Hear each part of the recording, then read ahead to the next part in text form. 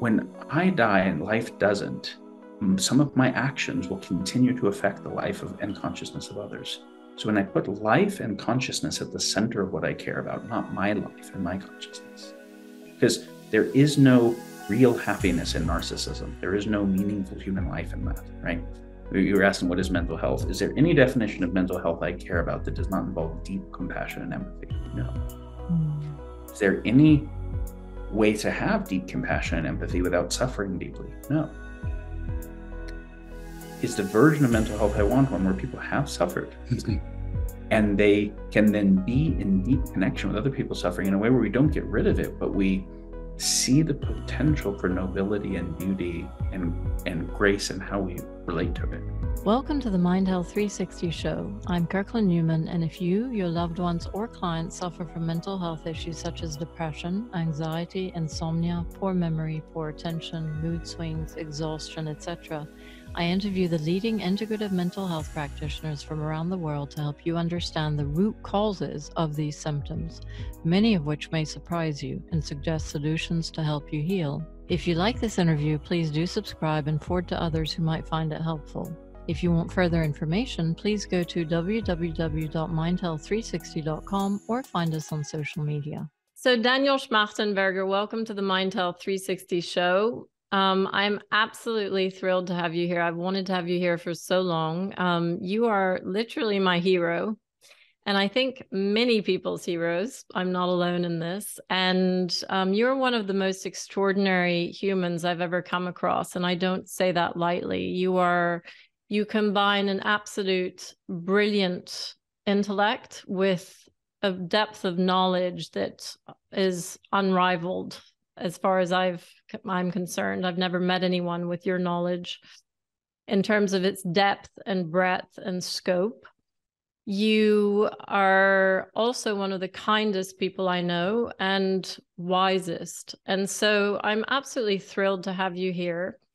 And what I'd love to talk about, obviously, I'll introduce you, but I'd love to talk about sort of the future of mental health but in terms of introducing you, you're just such an extraordinary person. It's hard to figure out, hard to sum that up. But I would say, just briefly, you're the founder of the Civilization Research Institute um, that focuses on studying catastrophic and existential risk. And you advise, you know, governments and institutions on catastrophic risk. And you as part of that have something called the consilience project which is a um, which hopefully you can tell us more about actually. And in terms of functional medicine you know not only do you know about exponential tech and ai and climate change and all the grave risks that humanity uh, faces, but also you are an expert in many ways in the healthcare system and in human health and you have in your past had your own struggles with sort of complex chronic illness which you managed through your own efforts to address and and heal. And so through this you've you know learned a huge amount about functional medicine and integrative health. And you've helped set up functional medicine clinics. You've helped uh, set up neurohacker collective and you've developed supplements you've been head of head of r&d there so you've done a, a very wide ranging number of things but what I'd love to discuss with you today is is really our mental health crisis, you know, which is affecting so many of us on so many levels. And what I'm particularly concerned about is the way it affects our teens and our children. And you know, in terms of statistics, I mean, the statistics are mind-boggling but you know and i won't go into them. I mean we know that one in five people is on a mental health drug and that's people who are clinically diagnosed. And we know that there are so many that are subclinical um, and that haven't been officially diagnosed. We know that between 2000 and 2021 the rate of suicide in the us increased by 36% we know that one person dies every 11 minutes from suicide and we also know that suicide is the second leading cause of death in those aged 10 to 14 and 20 to 34 as of 2023. So, you know, those are just the suicide statistics. So, what I'd love to ask you about is, you know, what do you think this is due to? So, you know, first of all, we could talk about, you know, what is mental health? What's your understanding of mental health versus mental illness? And second of all, is there an epidemic? You know, a lot of people are talking about an epidemic in mental health issues. And if so, what is causing it? And then what can we do about it? Kiki, it's really, really good to see you and to be here with you. And uh, I think your focus on the future of mental health and well-being uh, being integrative, not just of all the domains of the physiology that are involved, but all the domains of uh, psychology and the world at large that end up affecting our psychology is such crucial work. You're over complimentary to me that uh, kindness is one of the things I like about you. And uh, yeah, so is there a health epidemic and mental health epidemic? And what is mental health? And um, first thought that came to me as you're asking those questions was uh, I'm sure most of the people here are familiar with the quote from Krishnamurti uh, that it is not a good measure of mental health to be well adjusted to a profoundly insane society. And as we're addressing what mental health is, to start with what it's not. Um, of course, there was a time when the most serious definition of mental unhealth was being witch, mm. M- meaning you know you were actually possessed by the devil and doing the work of the devil, and you needed to be burned at the stake. And uh, I have a friend, Samuel Boria, who um, after the wall came down was able to get a bunch of what had been previously Soviet classified documents regarding their mental health classification system uh, in Yugoslavia, I believe, and it showed that the uh, I'll only paraphrase this that the uh, definition of their equivalent of schizophrenia. Uh, it basically showed the classification of how the uh, military intelligence influenced the development of the psychiatric system and psychiatric diagnosis, looking at things around paranoia and that the definition of uh, schizophrenia, the equivalent, included paranoia about misuse of power by the state, and that that was enough to diagnose it and incarcerate someone. Um, and so, to some degree, when you look at the history of um, definitions of mental health, they have been feeling good about the dominant society in which you live because uh, the whatever the um, power structure of that society is would not want everyone to feel otherwise. You can um, think about particularly patriotic times in countries where um, a big part of being mentally healthy was uh, the patriotic impulse. Um, now, we don't have fealty to religion or state in quite the same way we used to in much of the developed world currently. Um, it's almost more to like the market and things like that. So, uh, so interestingly, like if you are a good consumer and you are inspired to um, continue to r- grow on the corporate ladder and make more money and buy more things, and excited about the uh, results of your own productivity in those measures, you're pretty mentally healthy. Um, and I would, of course, not consider this a good definition of mental health. And I don't think it actually tracks to any of the underlying subjective experiences or, you know, to consider a person mentally healthy, I think not just how they navigate their own experience of the world, but how they affect other people's experience of the world and other life forms' experience of the world, because we can't see mental health in isolation. So if you, you know, you mentioned that uh, my primary work is on global catastrophic risk. And specifically, we're not just talking about like asteroids or solar flares, we're talking about global catastrophic risk from things that can uh, go wrong with advanced technologies like artificial intelligence and synthetic biology, uh, about all of the ecosystem issues where obviously whether we're talking about climate change or species extinction or biodiversity loss or dead zones in oceans or desertification or all the issues that come from unrenewably using resources radically faster than Earth can generate them and turning them into waste and pollution radically faster than the Earth can deal with them. Human society, as structured, is actually debasing the biosphere upon which it lives and polluting the environments in which everyone lives on the way towards its own self termination. And it's very hard to say that's a sane society. It is actually a suicidal society where it is pursuing exponential progress on the way towards a cliff.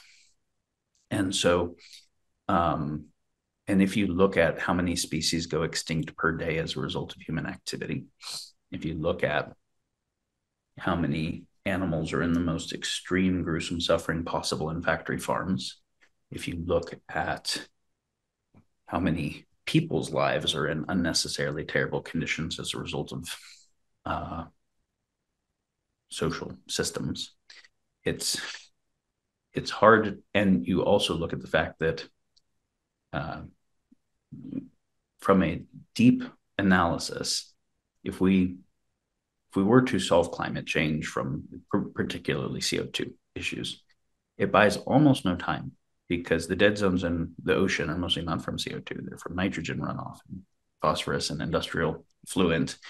And the overfishing is not from CO2, and the um, deforestation is not in the. There are actually so many different things that are on path to self-induced termination that it's actually like an underlying feature of civilization. So I think it's fair to say that the civilization is insane, like something that is in the process of and it's very interesting, right? Like you think about a cancer cell as opposed to a normal healthy cell in the body. Normal healthy cell cells shares the same genome as all the other cells, so they epigenetically differentiate. And it is limited. It does not consume all of the resource it can and reproduce as fast as possible. It consumes and reproduces in a way that allows it to have coherence with the rest of the body and system that in turn supports it if a mutation occurs, right, some oxidation happens, creates genetic damage, you get a cancer cell. The cancer cell actually consumes resources, particularly sugar, faster and reproduces faster, no longer in check with the rest of the system. And if it succeeds at doing that and getting other cells to do that, metastasizing, there are the most cancer cells right before the person dies. And then there's no cancer cells. And so the cancer actually suicides itself, right? It's pursuing increasing growth. Like, look how many more are on doing the thing that we're doing. Um, but it is debasing the host upon which it lives. And civilization is doing a similar thing. So the being well adjusted to a society that is behaving like that, I would say, not a good measure of mental health. And of course, then this brings up what uh, now being completely dysfunctional in the world system as it is would also not be a good measure of mental health. So, how does one navigate this world with some capacity to make sense of it, some capacity to cope with it, some capacity to develop the kind of emotional resilience to take in all that's happening, feel it, not, not be numb, but also not just be crushed out of having any agency, and be able to find some agency to navigate it but where the goal is not to succeed at the current society's definitions of success, but to work at uh, creation of a world system that is actually sane. I would say like a good definition of mental health would require that. Um, and then, of course, if we say that our world system is not healthy, not sane in some very deep and profound ways, then of course we can look at are there one of the ways we could say it is is not conditioning the healthiest people in some important metrics. Maybe is in some ways and not in other ways, which I think is really interesting for us to get into. So then you can get into uh, various definitions of mental health crises that are not the result of an individual being messed up for something wrong with them or even just family of origin, but really due to much more systemic causes. I would say if you look at um, sociological analysis of psychology or anthropological analysis, society wide kind of analysis, critical theories perspective on it, then mental health stops being primarily something wrong with the individual. Mm. Right? The, uh, if you think back to the evolutionary environment of humans, uh, humans as a social primate, an individual human by themselves in the wild didn't survive, wasn't selected for. We only groups of humans in social relationships with each other. So the unit of selection was not an individual, the unit of selection was tribe, right? It was a social group of people. And um, and so being effective autonomously is actually not aligned with the type of social animal we are or our evolutionary history. And obviously, if we were banished by the tribe, we would die. So, being in right psychological relationship, I have a friend's professor at MIT who one of his critiques of Maslow's hierarchy was like, it is a post industrial model where we have replaced our need for each other that was evolutionarily the case with the market, where I can provide some good to some business that provides it to the market that gives me money that allows me um, access to all the kind of resources and the police will tend to my security and the fire department and the military and the, all these kinds of things and i can buy the food and i don't have to know a farmer or a cobbler. I don't have to have anyone like me. I can be an asshole with no healthy relationships. And um, that in that context which is a very new evolutionarily very new and weird context then we think about the individual in a weird way and we can then say well, the bottom of the hierarchy is security before belonging.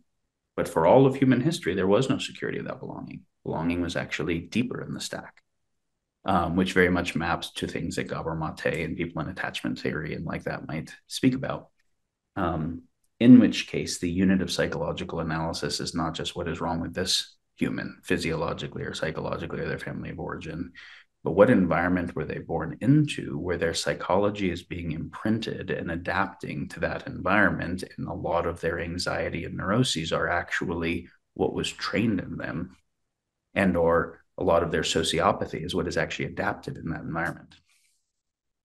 So that's such an interesting perspective because you're so right. I mean, we always do think of mental health as sort of individual mental health. You know, this person is suffering from depression or anxiety or ADHD, but you're putting it in a much wider context. And you're saying that actually our current epidemic and our current crisis in mental health is the result of a dysfunctional society, which is, you know, which has got a lot of things wrong and which is creating an environment psychologically, emotionally, mentally, and physiologically, which is unhealthy for humans in some sense. So we are creating a society that is unhealthy and, and therefore unsustainable. Now, what interests me in what you're saying is, you know, there, there are a lot of aspects to unpack. So you know, you can look at the physiological aspects, which are, you know, that we're creating a climate crisis. There's soil erosion, there's demineralization of soil, which means that we get fewer nutrients. We have processed foods, which means that we get fewer nutrients, which are key, you know, cofactors for our mental health, for neurotransmitters, et cetera you can look at the fact that we're taking all these antibiotics, that they're pesticides, that they're uh, unprecedented levels of toxic chemicals in our environment. And these are all messing up the gut microbiome and therefore having a huge impact on our mental health. So those are sort of the physiological aspects. So high levels of toxicity, you know, poor nutrition, which are all impacting the individual's mental health. But then from a sociological and sort of psychological perspective, there's also a sort of dissolution of our communities. There's a, you know, sort of competitiveness and a sense of disintegration in some sense that is affecting you know all all humans essentially but in a way it's like the boiling frog right? We're not really aware of it because we're in it all the time day in day out. And so we're being bombarded not just by physiological toxins and and sort of dysfunctional physiological mechanisms but also sociological and psychological ones. And would you say then that the crisis in mental health is sort of a combination of these different factors and that the rates of, you know, and we haven't even mentioned social media and technology and the sort of 24 7 connectivity. So you have the paradox between this 24 7 connectivity where we're always overstimulated and on all the time versus the disconnection you know in terms of real social engagement which is fundamental to the nervous system and so would you say that this current crisis that we're responding as humans to this sort of dysfunction on all these different levels in our society a lot of threads in there I'd like to get into. I think one I'll start with is uh, you see this beautiful view behind me of these mountains and these trees and the Blue Ridge Mountains. And um, there's a phenomenon I love to watch, which is when someone comes to visit from New York City or the Bay Area or whatever, and we stand on the porch and there is a you can see so far because and so there's the ability for depth perception to calibrate so much farther and there are so many different species here there's not um, you know a bunch of tree of one species after clear cutting and replanting and um, there's so many birds and the sounds that uh, people go stand outside and look for a long time and don't pick up their phone at all. Mm. And that in, the evolutionary environment for humans, this was normal. And what's so interesting is that we mostly destroy these environments, there's very few of them left, and then move to cities that optimize for productivity and certain metrics of comfort and things like that. Um, but even just the sensorial richness of the beauty in the in the visual field and the auditory field and all the senses not being around that creates a hypo-normal hypo insufficient stimuli of our actual evolutionary stimuli that creates a certain emptiness that is then looking for something that the market then offers through a bunch of addictive hits. And so when you look at a society that is characterized by more and more hypernormal stimuli across every metric, and when you look at that, you know, while food scarcity has been an issue for every, you know, species and humans throughout evolutionary history, in the developed world, diseases of overconsumption of nutrients, of overweight and obesity, are the leading cause of physical health uh, issues. Um, and you were talking about less nutrients. And I want to clarify for a minute radically more macronutrients, i.e., total calories with less micronutrients, minerals, vitamins, enzymes, phytochemicals. Um, so we claim look at the higher level of nutrition given to everyone um, because of counting a very tiny subset of what is considered a nutrient. Um, but you know, when you look at what fast food is, and when you look at what you know so so much of like developed processed food that creates addiction is very high macronutrients with very low micronutrient ratios all the macronutrients are from kind of if they had any derivative in a plant product it was a highly hybridized one that was part of that let alone the change to the soil conditions and whatever. And you extract from the plant or the animal just the parts that evolutionarily were very scarce. There was not that much fat, there was not that much salt, there was not that much sugar in an evolutionary environment. So the few times that someone had access to it, there was a strong pleasure dopamine opioid response to get more of that. In this environment, there's excessive amounts, but we still have the same genetics and dopamine opioid kind of response. And all the various forms of fast food are combinations of salt, fat, sugar with different kinds of added taste profiles and palatability, the crunchy version, the drinkable version. The, and so it's this hyper normal stimuli that will make normal stimuli right after a Twinkie. Raspberries don't taste super sweet, whereas compared to a normal environment, they're they're like oh, so overwhelming you can go into rapture from them. And so the hypernormal stimuli desensitizes to normal stimuli. But one of the things about it is it also creates this hedonic treadmill where you keep needing more of the stimuli and you're getting desensitized to all other forms of stimuli that are not as hyper hypernormal. When people look at this view and they hear the sound year after year, it doesn't actually get less. Mm. It doesn't, you don't keep needing more of a hit because it's actually not a hypernormal stimuli. It's the evolutionary stimuli we co-evolved with that we we co-regulated with. Our nervous system actually evolved our physiology and our psychology to regulate with. And in the presence of the fullness of, and so nature is one thing, right? Also in a kind of tribal environment, the relationship, the deep, intimate, trusting relationship with a bunch of other humans, not one human that you marry and maybe still don't trust all that much. Um, but maybe, you know, up to the Dunbar number, like 150 people who know everything about you intimately because there, there's no walls, right? And that you know, and all of whom lives are invested, that from an attachment theory perspective, it's attachment in that deep a way.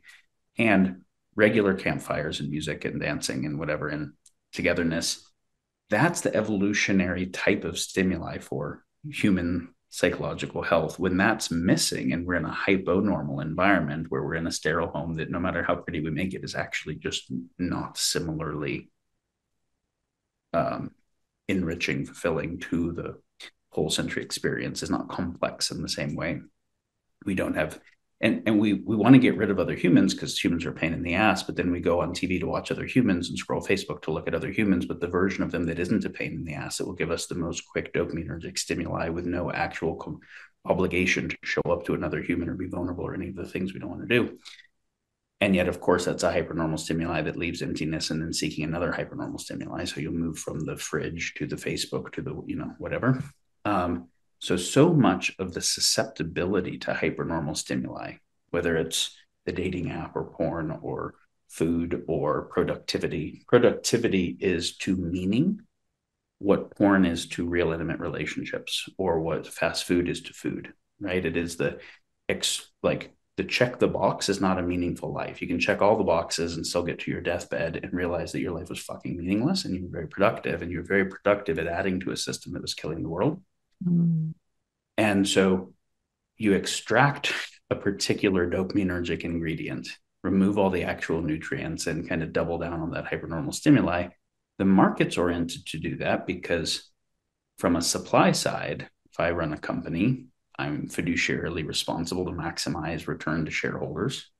And I do that best by increasing the lifetime value of a customer and I increase the lifetime value of a customer by hooking them as early as possible. And addiction maximizes lifetime value of a customer. They keep coming back. And then, of course, I have the plausible deniability of saying, well, supply and demand. They want it. I'm just supplying it. Yeah, it's manufactured demand.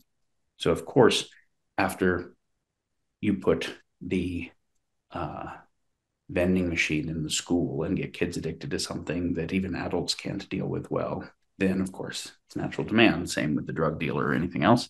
And so market forces can appeal to the lower angels of our nature, and one marshmallow circuit's better than the higher angels of our nature and two marshmallow circuits because there's just not as much to sell about things that have me looking to my own self and looking to the natural environment. There's more to sell of something that someone can, you know, commoditize control. So, um, so I think if you want to talk about mental health issues that are ubiquitous, susceptibility to increased addictiveness and compulsiveness writ large, which means decreased intentionality, decreased base fulfillment, fulfillment being associated with very narrow sets of stimuli. That would be one of the phenomena that we would look at. And we would look at social media and food and et cetera as applications of that. And then we would see the ubiquitous body dysmorphia that most teens have now that no one ever had historically in the same way as a result of the hypernormalization of visual image of people through photoshopping and then AIing what they look like online that means that then they will always be a substandard version of that in any embodied sense and etc um, and that so much of the hypernormal stimuli susceptibility is both a result of an unhealthy economic and regulatory system, but also our susceptibility from the hyponormal environment in which the things that constitute a meaningful human life are mostly devoid, which would be deep, rich family relationships, deep, rich extended family community relationships, the deep cultivation of our creativity, our sense of purpose and meaning, our sense of what any of this is about and our relationship to the whole web of life and what death and suffering are about and how to navigate it, our relationship to nature and to our bodies and to physicality, all of which has to be the foundation of what our civilization is helping us tend to, since it is the foundation of life, if it is to be. I mean, all this, when I listen to you, it makes total sense. And I think of it in terms of my own children who are, you know, 17 and 14 and who basically will not read a book. They haven't read a book in years. And yet they used to be voracious readers, you know, when they were 10, 11, 12. And now they're, they don't touch a book. All they do is scroll TikTok, you know, and they're addicted to their phones. And so, you know, on the one hand, I listen to you and I think, okay, come on, this is too pessimistic. Like, surely, you know, you're painting a picture which is too pessimistic of our current society. And surely there are you know there is community. I mean there are people who group around activities and who who you know love each other and show up for each other. And, and you know we're trying to control our tech use etc on the one hand. And so i think one has to be careful about being too pessimistic. But then on the other hand i look at my children and the way they're growing up compared to the way i grew up and how their you know their their phone is an extension of themselves. And so not only they're getting bombarded constantly by emfs and i have no idea of the long term impact that's going to have but also it's rewiring their brain. I mean they've both been diagnosed with adhd and so you know and i'm sure that this constant scrolling and this instant gratification has rewired their developing brains to have attention deficit issues. I mean how could it not so there's these two points. I mean, on the one hand, are you being too pessimistic? And I mean, are, you know, surely as a species, we're adaptable to our environment, you know, and so and and we don't know. This is a gigantic experiment. We don't know how we're going to adapt long term. I don't know how my kids are going to turn out in the in the future you know? And they're the first generation or maybe the yeah the first generation to have grown up with this technology. So you know, do you think you're being too pessimistic, or do you not see some hope for the fact that we'll adapt to this this environment and we'll, you know, we'll we'll we'll compensate for it in some ways? Let's we, let's go even further, right? You're saying maybe there are things that seem kind of bad right now, but maybe we'll adapt, mm. and obviously we can see historically some species went extinct, but other species adapted, and net net evolution seems to move forward. Isn't evolution moving forward? Will we adapt? We could go further and say, no, it's actually better than it ever was. And we're cherry picking negative things to pay attention to and over focusing on the negative valence. But didn't we read uh, Pinker and Diamandis and Hobbes and whatever? Aren't we over romanticizing the way that it was in the evolutionary environment because wasn't it really brutish short nasty and mean and people only lived to be 30 years old and there was infanticide and misogyny and blah blah blah and don't we have better human rights now? And look at all of the freedoms and look at all of the amazing technological advances we're talking across continents mediated by satellites.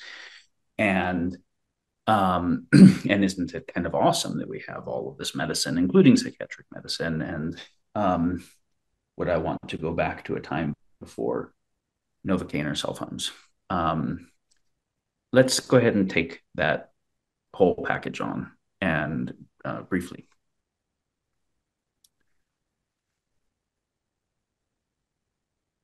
I believe that the most dangerous religion in the world today, the most dangerous orienting worldview that has fundamental explanations for almost everything and ways of addressing what is pathos, what is logos, what is the way humans should move forward that has articles of faith. So I'll call it a religion in those types of sense, but I'll call it a worldview formally.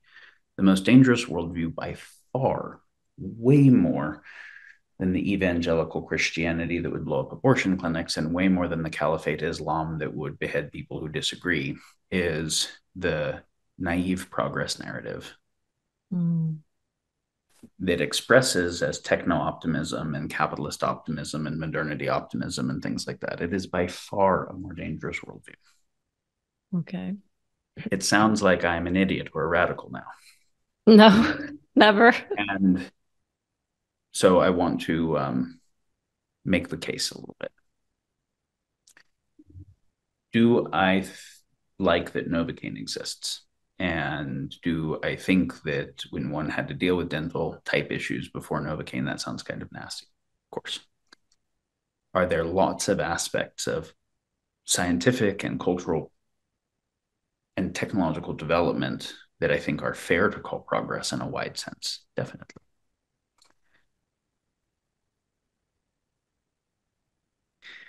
I but now and you know so have have I read the progress narrative books? Yes, of course. Um, now Consilience Project, we wrote an article might people might enjoy called uh, "How to Mislead with Facts," and it basically says I can take facts that are uh, true by the deepest definition of any fact checker, but I cherry pick the facts. So I can have a Gaussian distribution of things and cherry pick all the ones on this side, not this side. They're true facts, but they're not representative of all the things, right? And even which Gaussian distribution am I looking at? So I can cherry pick the facts. I can decontextualize them. I can take them out of a context, apply them in another context in which the context change actually changes the meaning of it. And I can Lakoff frame them, right? I can put a framing on them. So do I call them terrorists or freedom fighters? Depends upon which side I'm on. The uh, American revolutionaries were terrorists, to the British, right? They were freedom fighters. And now for America, they were the founding fathers. And so, and yet anyone else who's trying to become free and secede and whatever is a terrorist. So um, do I call them illegal aliens or do I call them undocumented migrants seeking asylum? Do and so of course I'm talking about the exact same fucking thing, but I put a moral or emotional valence on it, and we actually can't not do this. That's happening all the time. So between cherry picking, decontextualizing, recontextualizing, putting moral valence on, I can take 100% true stats and draw a conclusion that is 100% specious. And that it's not that's a thing that is done sometimes. It's that in journalism, that's almost never not the thing being done. Yeah. Um, because the earnest desire to know what is true is who wants to pay for that? Mm. Uh, the desire to say the thing that is aligned with our political party or that appeals to our um, readership that already has a set bunch of biases that wants certainty, even if artificial, and wants to know who the bad guy is that they can blame for the problems and orient to the in group. And the there's just so many vested interests that have one do that thing. So, um, if I look at the progress narrative and I talk about all the things that democracy and capitalism and technology and modernity and whatever have done, and I say, well, let's let's ask all the native people how well modernity went for them how well the progress narrative went for them. Oh, I can't. We extincted most of them through genocide. Like almost all the Native Americans were genocide. How many? Like a hundred million. Right? Like four times more people than were killed in all of World War II. And the progress narrative has to fucking deal with that. And not only did we take this just undeveloped land because it was open, it wasn't. It was many, many advanced ancient civilizations, some of which had amazing wisdom and beauty. They were savages, and we had to civilize them, and uh, you know, and we had to build our infrastructure with slavery.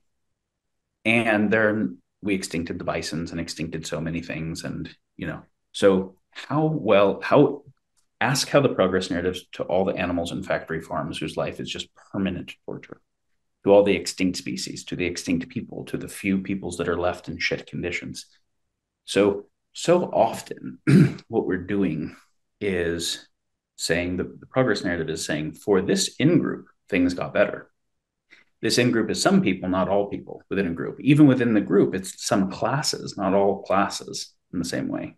And it's some metrics, quality of life in these metrics. So you'll hear dumb shit like, well, the average human used to live on a dollar fifty a day in 1850 in the United States, and now they live on fifty dollars a day. And even adjusting for purchasing power parity or inflation, look at what that is, or you know, hundred dollars, whatever it is. Yeah, but they grew most of their fucking food. Mm. They hunted. They they cut down the trees themselves for their home. Their house was not mediated by dollars. Like a, their a little bit of their life was mediated by dollar, but a huge amount of their life was mediated by a direct relationship with other people in the ecosystem and barter and self sustainability. So the decontextualization of dollar did not mediate quality of life that is ridiculous, right? So you have to come back to that. Then, of course, quantified things that get measured, and specifically the subset of those that we really pay attention to, like GDP go up is good. Well, GDP goes up in war. GDP goes up with addiction. More addiction, more money is spent, right? GDP goes up with the body dysmorphia that drives the addictions to address a thing. GDP, good measure of total health. GDP goes up with environmental destruction, right? Increase the rate of mining and pollution, GDP goes up. So, so then you add another metric. The qualified things, when everybody is on their deathbed reflecting on what was meaningful, it's not quantified shit. Mm. It was not how much they added to GDP. It was it, it it was not it was not their productivity list. It was like the most meaningful things are also the most intangible. They were feelings of love between them and people. They were feelings of the numinous that they had. They were places where they were transcended their own little selfishness and really showed up for other people in meaningful ways that don't get measured and optimized in that narrative. In fact, they're the things that most get fucked in the pursuit of the quantified things, right? And even the quantified things, we are not measuring how well the Native American societies are doing in that, like even where we could measure stuff. So we're we're picking very partial measures. So do I like Novocaine? Of course. Mm-hmm. And let's just let's even just look at this one and now i'm going to make an example that sounds kind of extreme but it's so important to like kind of get the frame. You look at weston price's work. That ended up being significant in forming what became the american dental association. And in the 30s he was looking at some of the native tribes around the world that had not yet had conventional agriculture uh, what we call conventional that it was obviously not at all the historical you know hunter gatherer life specifically didn't have primary amount of their diet come from grains and refined sugars and things like that and found that they didn't have dental issues. They didn't have cavities and they didn't have the overcrowding where they needed orthodonture or their wisdom teeth removed. And the hypothesis was they were the mineralization of their diet and the nature of the fatty acids in their diet and whatever led to a bone density where their mandible and maxilla didn't grow super crooked teeth and had room for the uh, wisdom teeth. And now of course people have this this research is not perfect, um, but there is much true to it. Now, the Hobbesian narrative, brutish, short, nasty, and mean, of course, their longevity is shorter if you factor infant mortality. But that doesn't mean people only live to be 30 years old. This is just a gibberish interpretation. Old people were old people for all of human history. Um, and infant mortality,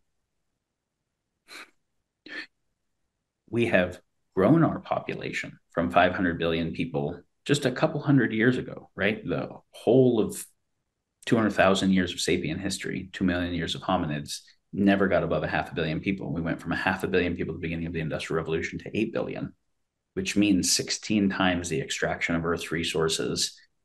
But we didn't, and 16 times the pollution, but we also increased the per capita resource use by over 100x in the developed world. Obviously, people who are um, in the upper economic bracket it can be thousands of x, and so you're talking about you know something like 1600x overnight increase in and which is why now the the geological age of the Anthropocene, the surface of the entire planet, is mostly defined by human activity. Mm. Now, coming back to the will we adapt? There was an article published a few months ago by the American uh, Chemical Society, Journal of uh, Chemical Society, on forever chemicals in the environment and rainwater, the fluorinated surfactants, PFOS, PFAS, those ones. They're called forever chemicals because there are no biological processes that break them down, kind of like styrofoam, but these ones are like little bitty invisible styrofoams. They're the the Rain-X and all the all the things that um, are used in packaging and to make water retardants and um, you know industrial surfactants and stuff because they're designed to be water repellent, they float to the surface of water. They're so small they actually evaporate, which means they get into the rainwater, rain everywhere. This study showed that rainwater samples all around the world in very, very remote places had higher than EPA levels of these chemicals, including in snowfall in the middle of, of Antarctica. This means that they're here, right? And no matter where, they're are chemicals that are carcinogens and neurotoxins and endocrine disruptors that there are no biological processes that because we they, they were not part of the billions of years of biosphere evolution they were things that we figured out how to make in super advanced chemistry labs that biology cannot process. Will we adapt in time to deal with that? Totally not. Mm. Totally not. And so, in the same way, if we make something, right, the biosphere, if you really want to understand, like the biosphere is a few atoms, like mostly six atoms and some trace minerals in certain types of molecular arrangements. And that is a very old thing, right? That's like a multi billions of year old thing where every animal, fungus, plant, everything can break down and get turned into everything else through the same processes.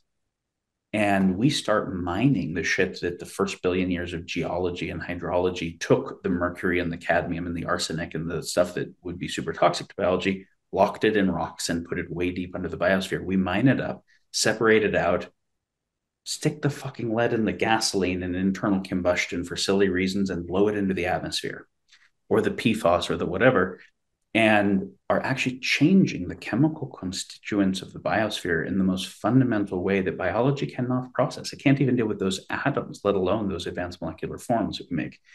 Would it adapt eventually? Like maybe, maybe in some Chernobyl type style, after killing almost everything, some new mutant type of stuff comes about. Can we adapt to organophosphates and phthalates? No. Psychologically, same. Mm. We are creating things that are foreign enough that they are outside of the functional adaptivity range. That's an important thing to get that all animals are shaped by their environment. We're the only animal that changes our environment so radically because of our extension through the types of technology that we can make environments that we are not actually well fit to. But we will make the fitness selection will be a narrow one. Does this society win in war? It makes it through, the other ones are killed might the Native Americans have caused no fucking environmental issues and still been fine and been fine with a steady state population for a long time? Sure. But were they going to be able to compete with guns? No. And so the thing that makes it through is not necessarily more sustainable or more true, good, and beautiful. It's more effectively dominant at extraction and war. Was the Maoist China invasion of Tibet, did China win because it was good, more good than Tibet, or because it was better at dominance, even if that same dominance pattern is on the path to self termination. Mm-hmm. Now, history gets written by the winners, which means I can't say, you know what, the civilizations we destroyed were lovely people. They were more wise, kind, enlightened, and better relationship with the environment, and we're just super effective, violent fucks. We can't say that. So we have to say we would civilize the savages. We we brought Christendom to them. We brought Western civilization. We brought whatever the fuck the thing is that we're saying we brought. We brought science and technology. We brought capitalism or we brought Christendom are the same thing, right? Which is, and so history written by the winners turns into a naive progress narrative where the things that won get measured and all the things that got destroyed don't. Now, if you want to have a progress narrative that isn't naive, you have to say this measure that was advanced, what was the cost? Where was the cost externalized? Not the internal cost that we paid for, but all the costs we didn't pay for in terms of the effects on the environment, whatever. And in the same ways, we can see that our industrial supply chains don't pay for the cost of what it would cost nature to remake that thing or to deal with all the waste. It's just the cost of us extracting it. How much does it cost us to extract it? And then a tiny margin, and that's it. Right. And so we actually don't pay for 99.9 something percent of the real costs of a thing. We just fucking steal it from nature. So then nature's getting depleted on one side and polluted on the other. We also do that from the human psychosocial substrate. And so there's a huge amount of pollution going into the human psychosocial substrate, like shitty thoughtware. And, you know, as you're mentioning, the erosion of attention span. If I if for me to get a dopaminergic hit, which had an evolutionary purpose, which was following something that required hard work, right? That had some, like I had to hunt that game or I had to achieve something. So the upregulation of strength and capacity of the system over some duration with attention, usually with some coordination with other people, would result in that thing. So that thing was that hit was associated with something authentically long term adaptive then I can extract that thing from the adaptive thing and just double down on that thing, just like the monkey that can just push the button and to the brain wiring. Um, okay, so now we erode, won't do hard things because why would I do a hard thing? and won't work at the edge of my own capacity, won't bother dealing with the difficulty of figuring out coordination and harmony with other people because I can just get the reward anyways at the end. And attention span will go down because I get the reward so quickly. Why would I not have the reward for a long period of time? There is, if you study some theory of mind, you won't find a definition of consciousness that does not require the definition of attention as fundamental. Mm, that's very interesting. You're Is right. there anything that it means to be conscious that does not have attention and that does not have some regulation of attention? You also, if, if you think about consciousness very quickly, the topic of agency, free will, whatever comes up. So the topic of intention.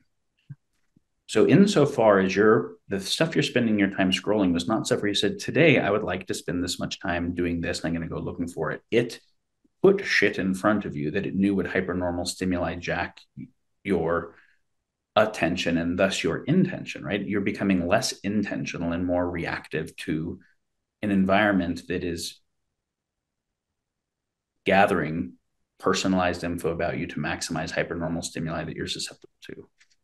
So your intentionality is going down and your attention is going down. The most basic concepts at the foundation of what is consciousness.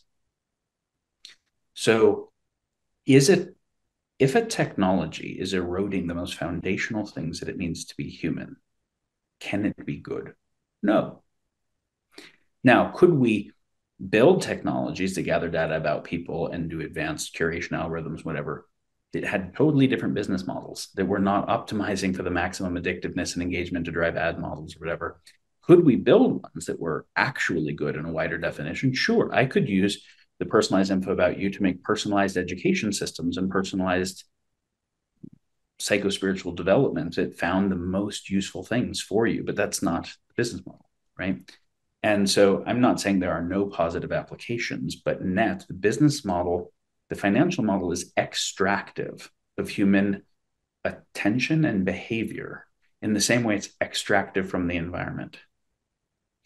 And so when you look at in the same way that there are natural resource, which is a violent, terrible concept. A whale is not a natural resource. It is a sovereign, sentient being with a brain that is bigger than any humans, that probably has types of sentience and phenomenology we can't even imagine but it's a natural resource or a tree that might have been alive since before the time of Jesus. It's a natural resource. What the fuck? Like, what a sociopathic concept that all sentient things are natural resources. Slaves were natural resources, right? Okay, so now we have human resources. What the fuck? Like, how is it that every thing of meaning is a resource for some commoditization process? Okay, so the goal is not the well being of the whale or the tree or the human resource. It is the effective commoditization of it for, you know, the movement of that power system. As soon as you start to realize that, you're like, the system is not this this system, the, the system where the people coming into North America slaughtered the Indians that were here and enslaved all the blacks was not trying to be a optimum well-being for everybody's system. The Chinese system going into Tibet was not an optimum well-being system. The current system is not an optimum well-being system. It's not fucking designed to do that. It is not measuring authentic well-being metrics. It is not trying to do that thing. It's important to get that, right? But it is trying to sell itself, of course, because it has to. But the memetics through which it sells itself, just like, yes, if you if you get who God's name is wrong, God will burn you in hell forever, not so that you learn and do better, just as a sadistic fuck who's going to punish you forever for no for no learning reasons, even though he was omniscient and knew everything you would ever do and was all loving. Somehow God works in mysterious ways, don't have any doubt. And then there's and it's like the dominant system just pushed that crazy shit, right? And the current dominant system pushes the same crazy shit. You're questioning capitalism. Are you a communist? Don't you understand? You know, and uh, and it's like, no, no, not a communist. We can do better. We can invent new, better stuff. And that isn't just selected for in war and the narrowest definitions of progress that externalize cost everywhere else. What is it a healthy human psychology? Individually, collectively, what is a meaningful human life? What the fuck are we here for in a deep way that is not us as a resource for some machine? but factors the intrinsic meaningfulness of human life and future human life and life in general. And what would it mean to make a civilization where this, those were the central things that we were oriented towards? Now, of course, most people are not like, well, I know how to change a $100 trillion a day global post nuclear weapon Bretton Woods market system that is advancing ex- at exponential speeds with artificial intelligence. I just want to know how to fucking feel better in this world. Okay, we can talk about that. But the I I don't understand what is really making me feel the way I do and I just want to feel better.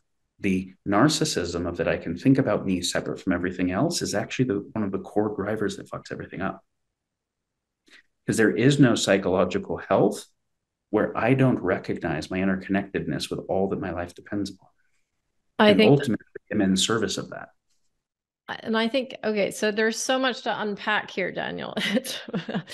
um, that's very beautiful. So a few things I just want to um pick up on is you know you talk about attention and the importance of attention and consciousness you know attention being a subset of consciousness and essential to consciousness. And one of the other things i wanted to point out is attention is also fundamental to love. You know a, an expression of love is attention and so I think that's a really important point. The other point that I wanted to make is, you know, you talk about all these measurable, you know, things, measuring things. And, you know, that brings me back to the, the, the whole, I mean, I'm trying to come back to the whole sort of health aspect we see progress at the moment. One of the aspects of progress is an ability to measure things. So, you know, there's this whole movement of wearables and measuring your blood glucose and measuring your heart rate and your heart rate variability and measuring your sleep and measuring you know we have all these gadgets and we think that actually this is the future of medicine is being able to measure all these things. And yet what you're saying is that it's actually what can't be measured that is the most valuable. And the, again even by trying to fix you know our health and fix our mental health in some ways we're getting it wrong again by by breaking things down to things that we can actually measure and maybe that's a criticism in some ways of functional medicine as well is that you know all these lab tests and you know maybe that's opening too much of another can of worms but all these lab tests that we do to measure you know various different infections and toxins and etc you know you're we're boiling things down to to data essentially. And data is important but what you're saying what i think i'm hearing is that you know there's so much more that is intangible and immeasurable in terms of mental health. Medicine, whether for physical health or for functional psychiatry, is doing that is good. Is within the focus on physiology and do science, measure stuff, and you know work with physical causation model. It's measuring more stuff. It's recognizing and not just what is the um, marker of pathophysiology in complex cases to then be able to offer a drug that was not part of how a healthy person was healthy. It was not part of how that person, when they were younger, was healthy. It was not part of an evolutionary environment that ever created health, but that stops a symptom or some aspect of pathogenesis, but maybe has side effects that will end up needing other drugs later. Saying, let's go upstream and say, is that rheumatism actually resultant or at least partially resultant from some underlying infections or deficiencies or toxins or whatever where we can do things to treat that upstream thing. So in that way it's a movement towards increased considerateness right? Kind of like gdp plus gini coefficients plus a carbon accounting right? It's like adding additional things so that you aren't externalizing or neglecting or whatever in that area. So that's good right? And rather than simply say, well, we have no idea why you have rheumatism. And so we're just going to do symptomatic treatment to be able to say, well, there are these things that are going on upstream that at least sometimes statistically correlate with increased chance of rheumatism, whether it's the Lyme thing or the mercury thing or the whatever. Let's go ahead and work on those, see what happens. Sometimes rheumatism goes away. But whether it's mercury or whether it's lead, you're going to use different chelating agents to be able to deal with it. And whether it's Lyme or EBV, you'll use different anti-infectious agents to deal with it. So there's some value in that totally, I think this is fantastic. And we were so excited in the Human Genome Project that we were going to crack the base code of life. And then we would solve all these diseases. And it's been kind of amazingly disappointing how many diseases we have not solved since figuring out the Human Genome Project. Because, oh, yeah, which genes are expressing has to do with this thing called the epigenome that wasn't even on the damn map. And then that creates a proteome and a transcriptome that recursively change the epigenome. Oh, yeah, and the microbiome and the virome and the parasitome modulate the epigenome and modulate the proteome and the and they weren't even on the fucking map really in that way. So there's so much stuff that is in the unknown unknown set that is affecting the core stuff that our overconfidence that we understand the right variables to measure and control is our way of compensating for our uncomfortability with uncertainty absolutely and so do we want to keep learning more things and factor the things we've learned? Of course we do. Do we want to also hold that there's really important shit that we are not factoring in there? And that there are also some things that are never metricable. And even as far as metrics goes, there's an uncommensurability of metrics where there are decisions that are still qualified, right? Because I can't say how many of this metric is worth how many of these when I can't con- convert them into each other, right? And um, so more deeper metrics has value, but also even in the limit, it never converges on reality. This is what the Tao that is nameable is not the eternal Tao means. This is what the thou shall have no false idols means, right? The actual God, the actual nature of reality is incomprehensible, inarticulatable and the thing that we are to be in service to. And the articulatable version of it, the best articulation is a false idol, is actually a sin to take that thing too seriously. So mm-hmm. don't take it as an idol, take it as a this is a useful model that is definitely missing critical shit that we don't even know it's missing yet. As such, we hold it as useful at best, while wanting to look at where it is actually anti useful, where we might then be so optimizing for the things we're measuring that we're harming the things that we don't even know that we're not measuring that are interconnected and causally affected right? This requires of course much it requires more rigor to notice more metrics and their relationships while more humility that how much we notice is tiny right now we get to know relatively little and feel very certain yeah which yeah. is the front of the dunning-kruger curve right? As we move fo- forward on it, we will work harder to know way more and have way less certainty. Mm. But in that, also, the universe still works at all, more kind of awe, which is part of mental health, right? And more kind of gratitude and more kind of curiosity and more kind of both desire to know and appreciation that universe works beyond what I know. Yeah, and I think that's that's very very beautiful because I mean that sort of brings me to to you know what can we do about this? So we know that there's an epidemic of mental health issues. We know that it's due to the sort of you know messed up way our society is going in so many ways we know for instance that functional medicine to an extent is is progress in the sense that it can measure more things and that it can take systems approaches to healing which is far more than can be said about sort of conventional psychiatry. And we can look for root causes of what's causing you know the depression and the anxiety etc but then you know what i always say Eh, with my website is I always say there are three components to mental health. There's the biochemical, which is the hormones and the nutrition and the gut and the toxins and the inflammation. Then there's a psycho-spiritual, which is the purpose and meaning, the trauma, the difficult life circumstances, you know the sort of spiritual components and the psychological ones. And then third there's the lifestyle behavioral. So you know getting out in nature how you sleep how you exercise how much sunlight you get. And it's only by taking these three aspects into account and diagnosing and treating people taking these three areas into account that really you can get people sustainably better. But notice how all three of those mostly deal with the individual Yes. Yeah. So I would consider all three of those necessary, but not close to sufficient. So, what is the key missing component? Is it connection to other humans and a sort of consciousness that we're all interconnected and that what we do to one, we're doing to the whole? there's a libertarian pull yourself up by your bootstraps. It doesn't matter what's happening in your environment. Just be responsible for your own mental well-being that has value, right? And the fact that we can see a certain kind of potential for awakening inside of Auschwitz and a Viktor Frankl. We're like, okay, it is possible under the most terrible circumstances for awakening to occur. And we would like for everyone to have more internal locus of control when their external environment is less in their control, right?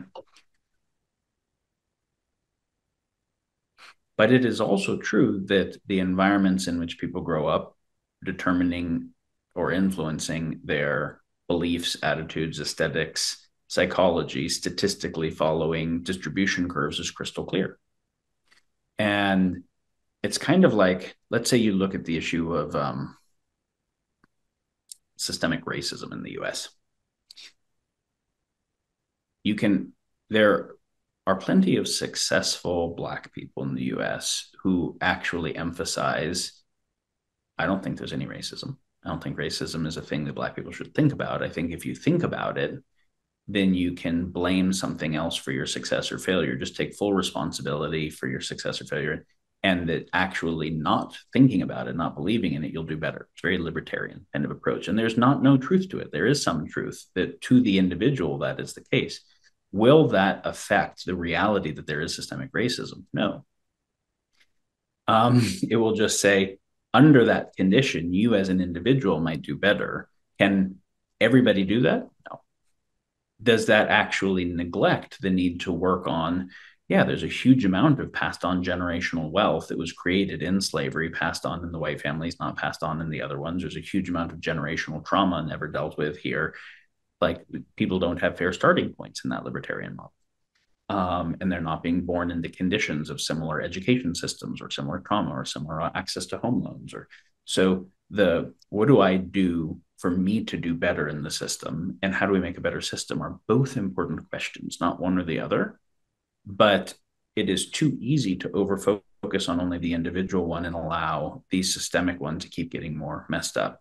Can I do all of the fancy tests to know what chemicals are in my body to do all the fancy IV detoxes? Yes. Is that helping fix the fact that industry is fucking the environment for everyone and everything in all life forms and that these toxins are in all the animals and the soil microbes? No.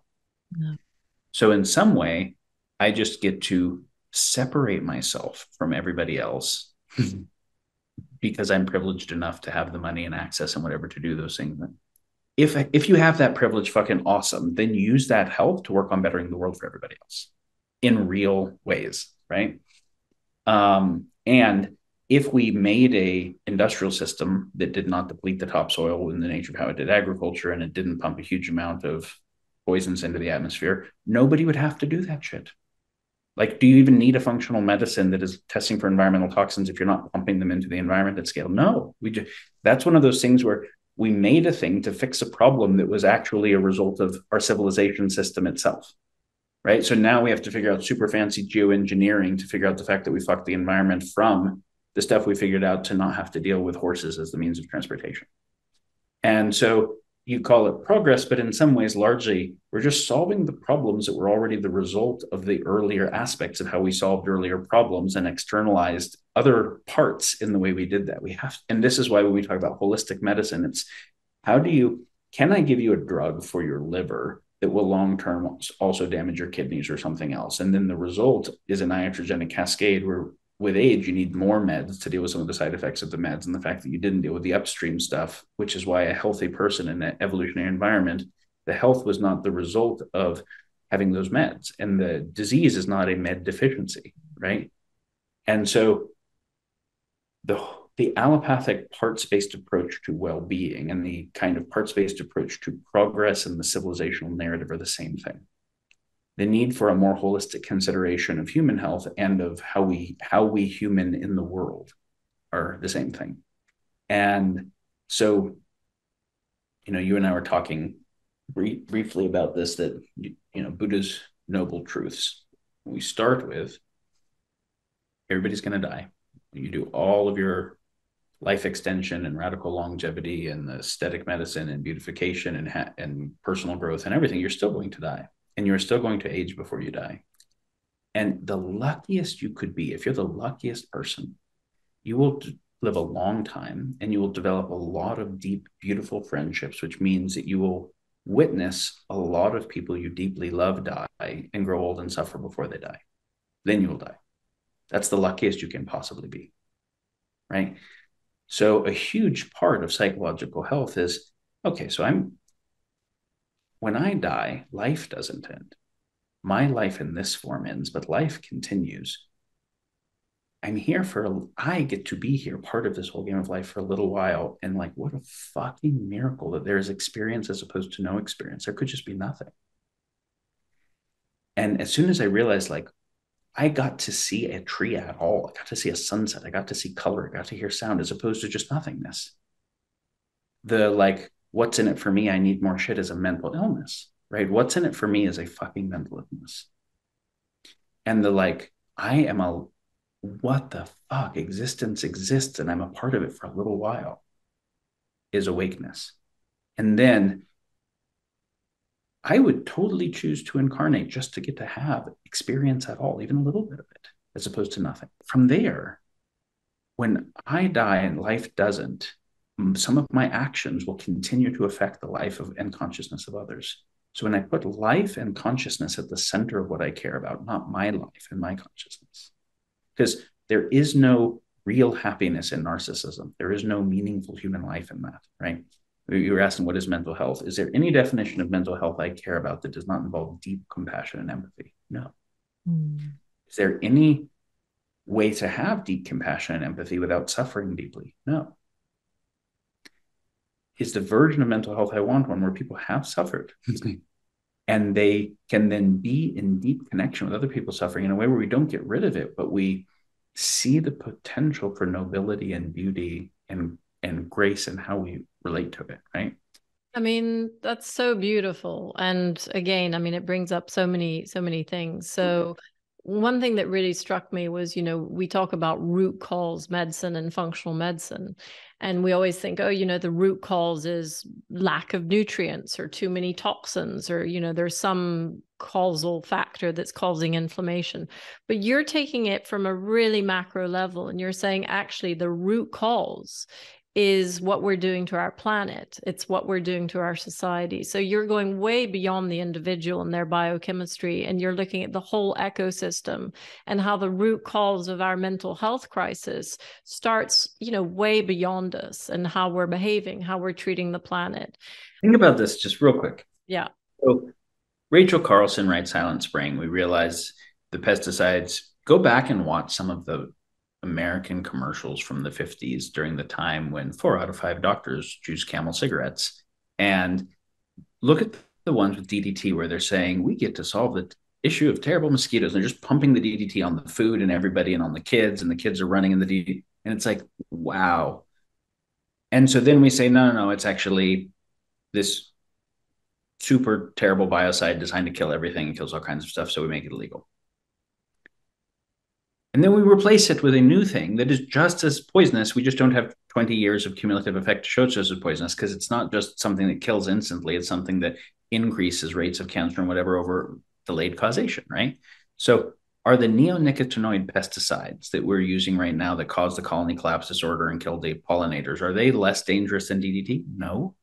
Are we are we using exponentially more biocides every year than the year before globally? Yes. Do they break down quickly? No. So you have not only an exponential curve per year, but a cumulative effect across all the years. Okay. And then are we also doing that with all the VOCs that are in the paint and the carpet and the blah, blah, blah? Yes. Okay. If we say that one of the root causes is toxicity from the Anthropocene that was not there in the environment in the uh, evolutionary environment, which is why our kidney and liver and lymph system are not designed to deal with them well, which is why we have to help it along. The idea of let's keep polluting the environment exponentially more per year with cumulative effects and then try to detox people. Like, that's the stupidest thing I have ever heard of. Let's keep a shitty system of agriculture that demineralizes the topsoil to grow hybridized plants with a genetically weird version of those plants that are like the version of a chihuahua compared to a wolf of the banana or the tomato or the whatever it is that then we have to supplement forever and do heaps of labs and like i love functional medicine. I love i use a lot of supplements. I help make a supplement company because i actually think they are valuable because of these messed up things. Is it the world i want? No mm. i want a world with a good agricultural system where all of where the trace minerals and the microbiota of the soil are rich and that doesn't have an industrial system that is filling the environment full of pollution and waste and et cetera where where people are not being made unhealthy from systemic causes continuously right so if someone does not know how to fix that right now yes figure out how to get the nutrients your body needs figure out how to deal with the underlying infections that we have from a globalized system and where you have MRSAs and fungicide resistant molds from having put fungicides in paints and not factored that they would mutate and like figure out how to take care of yourself, but on your own oxygen mask first. But this is not a solution for the world. Mm. So if I ask you for solutions and I say, okay, well, what's the solution to this global mental health crisis? You know, so what you're saying is, you know, fix the whole system. Yes, you can fix yourself as an individual and you can use functional medicine and you can detoxify and you can make sure you get the right nutrients and you can meditate and you can go outside and get the sunshine, etc. But the main thing is that all of our mental health and our physiological health is going to suffer as long as we don't fix this planet that we're on. Is that what you're saying? I mean what are your what are your concrete solutions uh, in order to address this mental health crisis? Fix is a weird word right? Because mm-hmm. i fix myself and i still die. I'm still going to die. I, i'm probably not if I, am lucky i'm going to age before i die. Mm-hmm. if i do the best job of longevity extension medicine I'm still going to suffer from results of aging before I die. Um, so fix. I don't, I don't know what that means. Um, that mindset is part of what's wrong. Mm. And in the obsessive pursuit to fix myself because of the affirmation that I'm broken and that then I can somehow get fixed. And until that, I have to keep focusing on my being fixed. I'm messing up my appreciation of life with that weird concept. Mm. Right. Um, I am not a robotic system that can be broken and can be fixed. I'm not a mechanical system. I'm a living system subject to all kinds of complexity. Right? And so I would like to support greater health and resilience and homeodynamics while also holding that I'm definitely going to die. And that on people's deathbed, the things that they say, man, now, before when I reflected on last year, what do I want to do this year coming up on January 1st or whatever it is, I'm always reflecting in light of thinking I can do it over differently next year. But on the deathbed, that doesn't happen. There's a deeper type of reflection.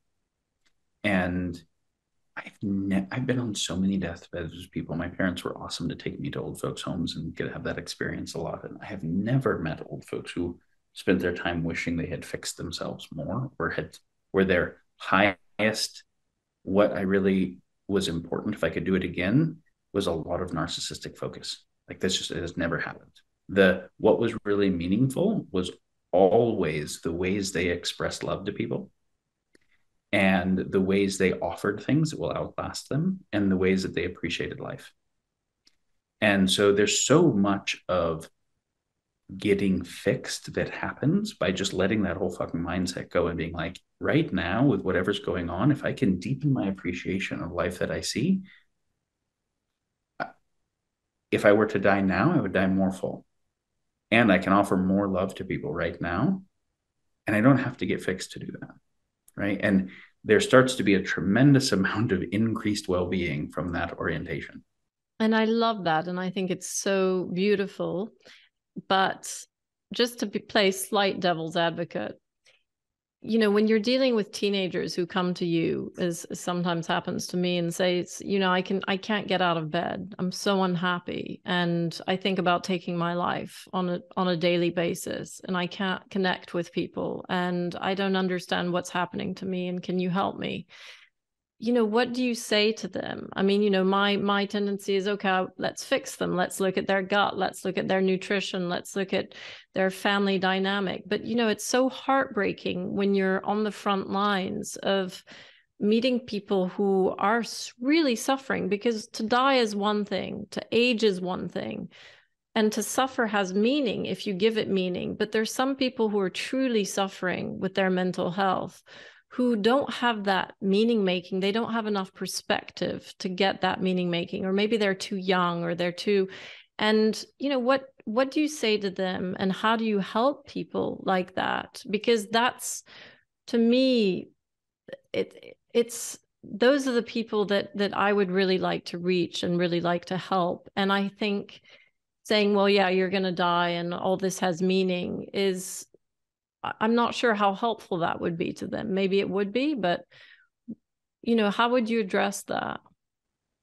Someone told me that I knew that they were having a hard time getting out of bed and that they thought about taking their life. I would just mm, sit with them and try to make it safe for them to share what was going on deeply enough that I could feel feel where they were with them. Mm. And I would let go of all desire to try to fix them. Because then I'll be looking for what I can do to make it better. So I'm just looking for a, oh, that's a gut issue. Or, oh, that's, a, and I try to reduce the depth of their experience to some little thing that I can fix. And it, to them and their suffering, it doesn't feel like a gut issue. Mm. And, you know, I had a teacher of uh, therapy who was really masterful, brilliant, a guy named Barry. And he used to say, if when you're working with someone, you're trying to think which modality do you apply, you are at best a um, technician mm. is looking at which technique you will apply, but you're not doing healing. Mm. Um, because you're actually more focused on the technique and how to apply it than connecting to this being. And the technique is actually getting in the way of your ability to connect to the being. And the healing is always an increased connection. And so he's like, just watch the movie of them. Just take it in until you get the gestalt and you can feel what they're feeling and you can get why they're saying what they're saying, like you've really inhabited it. And then you might find that none of the techniques you have are actually worth much of anything for them. But you, at minimum, they're at least not alone in the experience now. You can, they can, they feel gotten, they feel felt, and there's healing instantly in not being alone in it. Yeah. Then you might be like, I actually don't know what you need, but I'll work on finding out with you. Mm. Like we'll explore this together. And um, I think so much of what makes suffering, like deep psychological suffering, it's not the only thing, but so much of it involves um, isolation and aloneness mm. and a lack of feeling deep intimacy. Mm. I have found that people who had deep existential angst and thought there was no free will and there was no meaning in universe and whatever. If something happens and they fall in love the existential angst is gone. And that you know what what people like Gabor Mate will say in terms of that the most likely indicator for addiction is uh, loneliness. It's that whole thing of the hypernormal stimuli filling the hyponormal environment the that the core of the human environment is yes, a connection to nature, yes, a connection to our body, it can and a connection to other humans, right? And the Ubuntu concept, I am because we are, and the because being I is not the fundamental concept. We is more fundamental than I, because They were here before, they will be here after. Without them, I wouldn't exist. Without me, they would still exist. Right? The the all is deeper than the part. Right. And so I play a role in it, but I am actually a less deep concept than we. And without the we, I wouldn't exist at all. So when I think I am actually scientifically, ontologically thinking poorly. Mm. Because I am, I'm Daniel, I'm here, I'm I'm thinking in words I did not invent. I am taking for granted a whole way of living that depends upon heaps of other people. I am breathing air that I require that is made by those trees and by algae and by and if those things were gone, I wouldn't exist. I would stop existing, or who I think I am would be totally different. And yet I can take for granted that which I depend on, not included in my definition of I, and then I can actually harm that which I depend upon in service of I. That mm-hmm. is the psychopathology driving the world. Right. So when I get, I am an emergent property of a complex reality. I'm an emergent property of a biosphere. I'm an emergent property of a social sphere. I'm an emergent property of a family. Without all these things, I don't exist, and or I wouldn't be who I think I am. I'd be some totally other thing. I'd be nothing, or I'd be some totally other thing. Then I cannot benefit me if if the way I'm thinking about improving me doesn't even have a causally clear concept of what the fuck I am, the fuck I'm a part of or depend upon, then which there's no chance it could succeed right? Now, here's something very interesting. I have met certain people that would be considered uh, sociopaths or psychopaths who really did not suffer very much in their own experience because don't really feel guilt, don't really feel shame, don't really feel uh, obligation, don't really feel sadness, don't really feel anybody else's sadness, don't really feel, but can totally feel pleasure and wins. I'm not stoked on that. Right. And so, um, and that person, so is happiness a good measure of mental health? Not in a superficial assessment of what it means. Right. Because you can, you can be a schmuck causing massive harm to the world I, I can be a sadist where my happiness comes at causing suffering. Right. So only the kinds of happiness that correlate with the happiness and the well being across lots of types of others. Right. Or let's say I am bypassing all my own pain because I can't deal with it. And so I have a kind of put on fake superficial happiness where then anytime someone tells me that their family member died or is suffering, I'm like, oh, well, there's probably a silver lining in it. It's like, shut the fuck up. Like that, that way of tending happiness that is not real actually causes suffering in other places. So part of what I would call consider mental health is understanding my relationship to reality better. Mm-hmm. And then as a result of that, being able to navigate life in a way where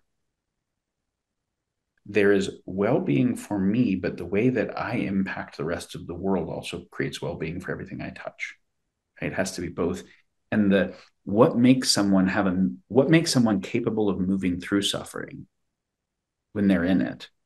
And what makes someone look back at their life on their deathbed well is almost always how they were in service to something greater.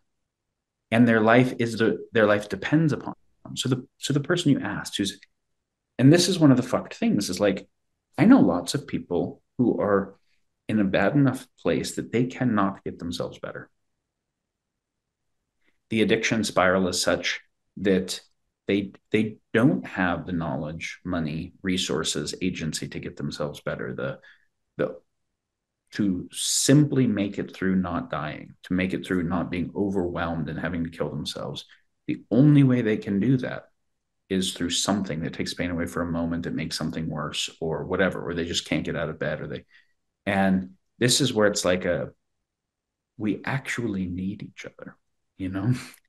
Mm-hmm. Um, and I think there's a lot of diseases that psychological diseases are considered incurable in a totally libertarian model, but in certain kinds of tribal judicial systems and tribal psychological environments, they either never occurred or were curable. Mm. And um, so, your question if I'm with somebody who's really suffering, the first thing I would do is just really be with them in it.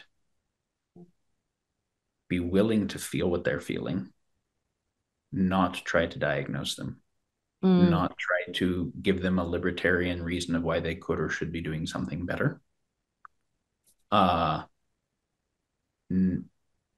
I may have to, in the process, face maybe they're feeling some meaninglessness or existential terror that I'm avoiding in myself by excessive productivity or whatever. So I don't want to do that. I'd rather just fix them and not have to face the fact that I have the same fucking issue as them. I'm just less honest about it or I have better coping strategies. Um, and so then I would look at that and be like, wow, I am incapable of loving them and really being with them because I'm too fucking afraid of the realities that they're saying that I'm avoiding in myself. Mm. Otherwise, can I actually be with them and say, not only will we all die and go through suffering, but we will also all go through some type of real tragedy. And if I haven't moved through that, if I haven't faced it, and moved through it, I can't help you. Mm. Yeah. So only the person that has really looked at and moved through heartbreak, tragedy, meaninglessness can be with someone else in that and not need to just try to frantically fix it as a coping for their own inability to be with it and have any sense of trust or any wisdom about it. I mean, that's so beautiful. And, you know, when, when you were describing also that sort of happiness, um, you know, it makes me think of the different types of happiness. Of course, there's hedonism and there's eudaimonia. And I think you're referring to eudaimonia, which is the sort of a more purposeful, meaningful happiness, which uh, you know involves helping others and and having purpose and meaning to life. I love what you're saying about, you know, just sitting with someone without having to distract. And whether you're sitting with them, you know, in whatever suffering they're they're in, whether it's mental suffering or physical suffering, and just being able to be present and to be conscious and to be aware and to give them attention and therefore to give them love. I think that, you know, those are really important concepts and and and an important approach that we do tend to forget you know as people who are trying to heal you know heal others we have this sort of intentionality of like you know we, we need to fix people and so thank you for putting that perspective out there the other thing is that you talk a lot about death more so than I've heard you talk about in your other podcasts. And I understand that your father passed away a couple of weeks ago. And I'm really sorry about that. And I just wonder obviously, it's very much in your consciousness and in your mind. And I just wonder what sort of thoughts and lessons and insights you might be able to share with us because i know as a very deep thinker you've you know there are things that will have shifted in you because of that experience and i'd love if you feel comfortable of course if you would be willing to share some of those with us something that's been on my mind that I've been reflecting on and learning quite a bit from just in the last little while since my dad has passed that I will share first because it's just on my mind. Um, and we'll share something about some of my reflections on uh, precursors, some of my reflections on death. Um, and I was saying, just sit with somebody and try to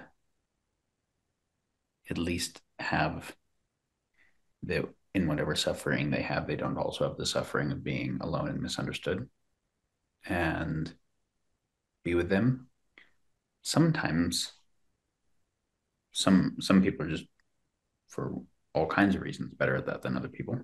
Um, and even the people who are best at it, it can be easier to do that with people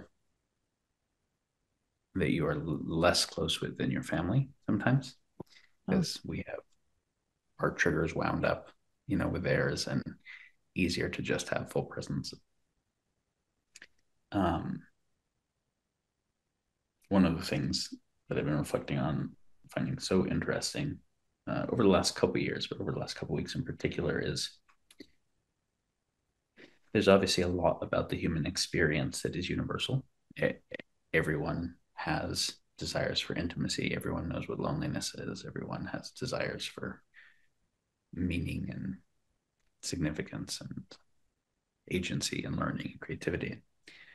Um, but within that which is universal, people's experiences are profoundly fucking different, more different than I have given enough credit to historically. I think I focused on some of the universal commonalities more.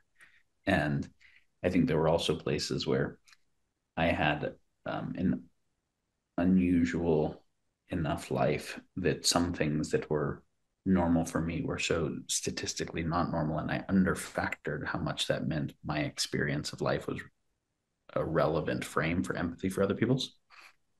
Because when we say, well, if I was in their position, what would I feel?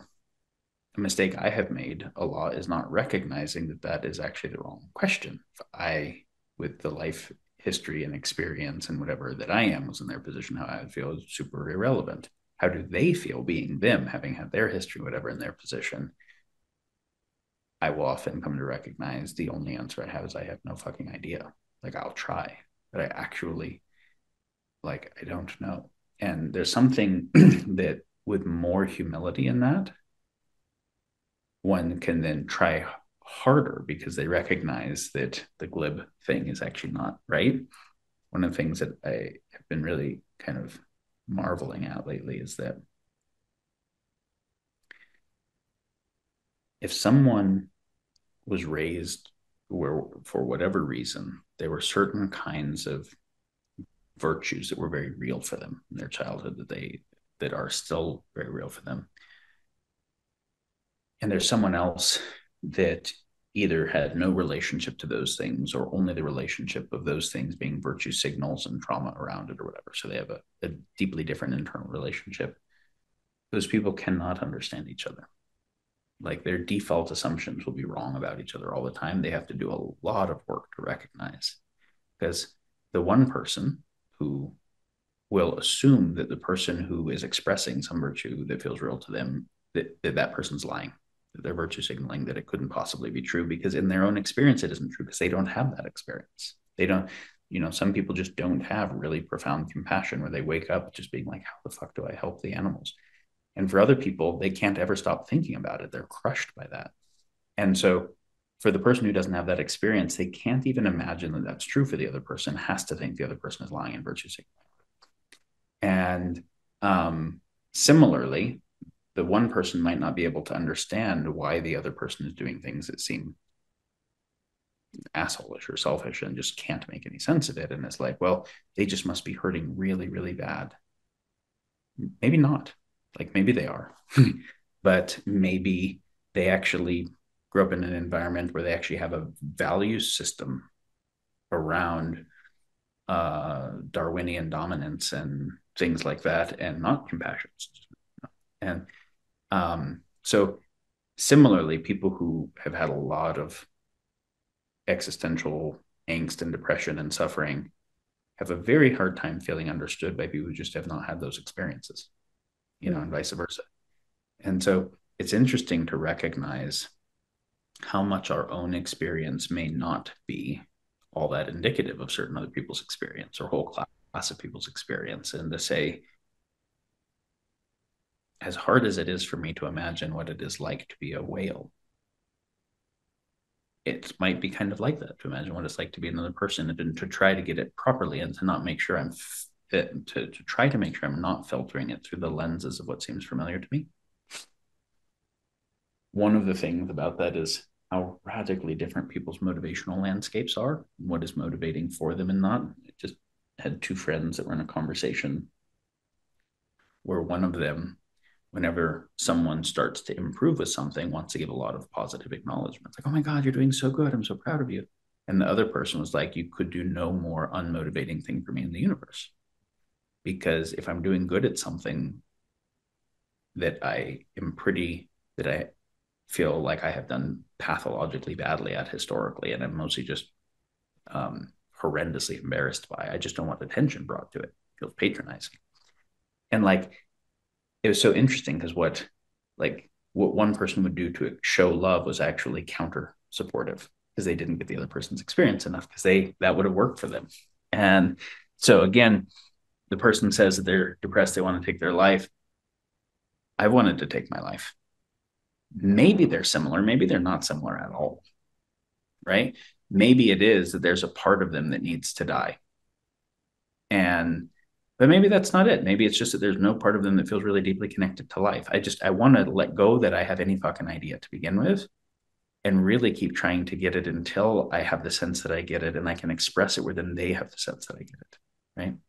So um that's very interesting to me, not just the how do we have empathy, but how do we make sure that it's coming from a deep enough place, factoring the differences or interiority. So thinking about my dad, my uh,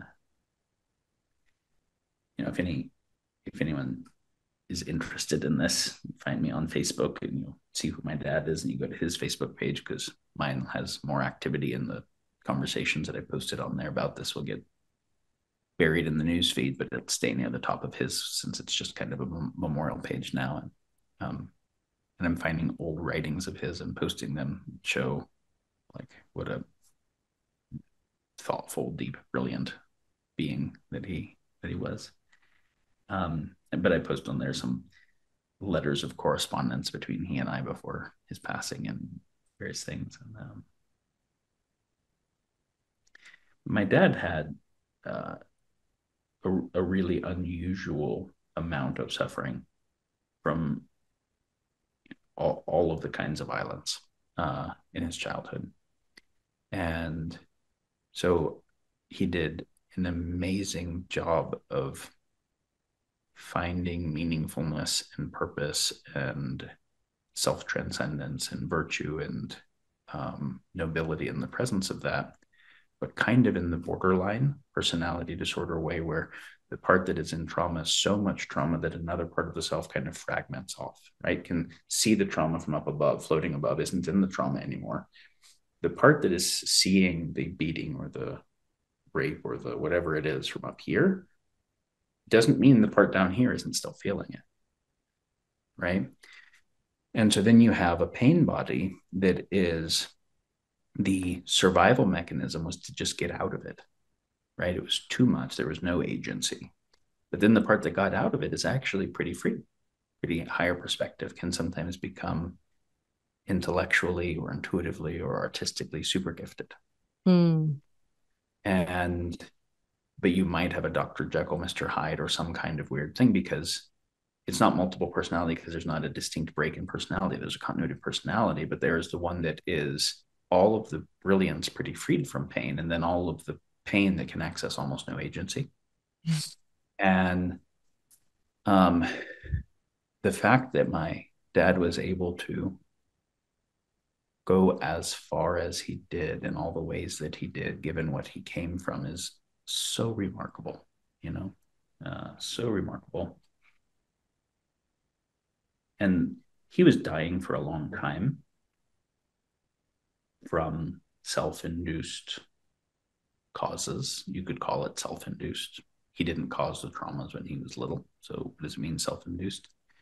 The addictions that made him die 20 years younger than he would have otherwise, that made all the body system failure. You can call self induced, but you can also call induced by trauma that were put into his self that were not his self, but it, he didn't know how to overcome them. And uh, because of that, he and I had the um, end of life conversations many, many, many times. Um, and so that was uniquely fortunate. We got to, I, I wrote an article of uh, things I, I, specifically, this was years ago, I framed things I learned about being a man from my dad because um, it looked like he might die then. And I figured, why wait to do the eulogy when the person can't read it? Why not say the things where they can? But then I kind of double purposed it with of his teachings in parenting, how many of them were particularly useful for a son, and how much I looked around and saw how many people either had didn't have fathers or had inadequate fathers, and mm-hmm. how many of the men in particular who had an, inadequate fathers, um, how many of the problems in the world were caused by that. Mm. And so I figured if some tiny vicarious amount of the goods of fathering I could get across by that. So I, I kind of double purposed the eulogy for him. And the, so um, lessons I learned about being a man from my dad. Um, so yeah, I wrote that to him years ago and published it. And um, we had all the conversations. And so all that is really positive.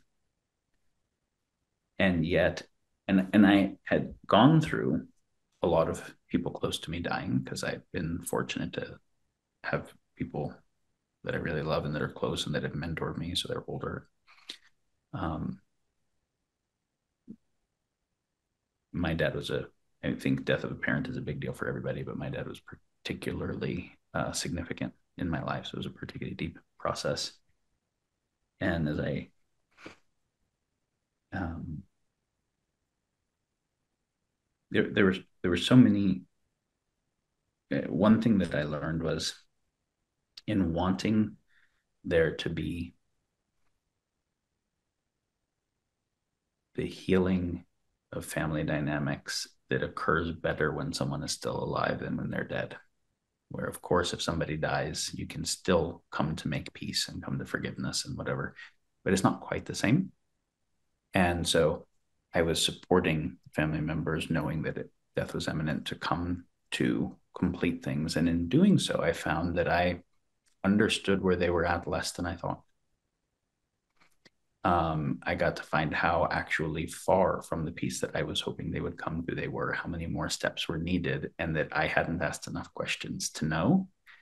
Because with a new person, I would ask all these questions, but I think with a family member, we assume like, oh, I know what you went through. We were there together. Nope, nope. We were in totally different experiences. So that was really interesting. Definitely got to like have a lot of really beautiful family healing things happen. Some of them just completing moments before the end of life. And like, yeah. I'd written an article also years ago from the experiences I'd had with other people and a lot of friends called uh, Conversations Have with Your Parents Before They Die. And um, if, if anything, I would just add a few more things to it now. But, um, and there's definitely been really interesting experiences in both the loss in the human domain and the even deeper connection in what one might call a spiritual domain since his body's passed. But if i if i'm thinking about like on the what do i wish i had known earlier that i would do a little differently um the conversations in recent years we've had that I'm happiest about were the ones where he shared things that he wanted to share. I made the time to take them and I appreciated him. And, you know, that's, it's not a trivial thing because, like a lot of people who have families or careers or passion projects, you know, I'm, time is limited. And many of the things that he wants me he wanted to share with me were things that he had already shared with me many times um, and that i had and some of them were mixed with some of the uh, you know wounded parts or whatever that made it a little harder to just be um, stoked on. And yet so it's so interesting because like the times where he was happiest were not where anybody was offering him help or support and not even compassion for any of what he was going through, but where he got to offer something that other people needed because without which there was no meaning. And the only reason for him to continue was to have some sense of meaning. And so the times that I, the conversations we had that I feel the least good about were the ones where I was trying to help him improve himself and heal himself that didn't end up working and that were ultimately just not, even though they were intended out of wanting him to suffer less and be happier, that were some lack of calibration on my part of what where he was really at, what was really possible, and that in the time where I was trying to help motivate, which I was thinking about motivational psychology, right? Help motivate some behavior that would cause some less suffering on his part, which is easy to want to do when the person is really, really abjectly suffering for something they could behaviorally change. supposedly, but also kind of can't in a deep way, right? And I think when someone has a very broken sense of agency in a domain and someone else doesn't have a broken sense of agency in that domain, it's hard to empathize properly, which was happened for me. Um, that that same time spent him getting to share things with me that were important for him to share would have been a better use of time. And uh, so that's that's one reflection. Well, that's really beautiful. I mean, I'm sure you have a lot more, but that's very beautiful. And I mean, what if I if I wanted to synthesize our conversation and bring it back to mental health, I um you know, one of the things that really strikes me is that the whole thread of what you're saying seems to me to be about, you know, a deep listening and a deep connection and a deep attention to yes. to people and to the planet and to the needs of others as opposed to in some sense our own needs. I mean we're in this sort of hyper individualistic society where it's all about self-care and looking after ourselves and what are our needs and when are our needs going to be met? And there's this whole movement. But what i'm hearing from you is something slightly different which is you know really connect to the needs of others and to the needs of the planet and don't try and superimpose your own ideas about how to fix them or what they need but truly a sort of quality of listening which you know can only be equated to you know really listening with love. Yeah. And you know and in that is healing. And so you know you just, said, uh, you just said something really important which is in the deep listening there is healing even before the person listening gets the data to know what healing therapy to do. Yes. Right. Just in the connectivity, there's healing.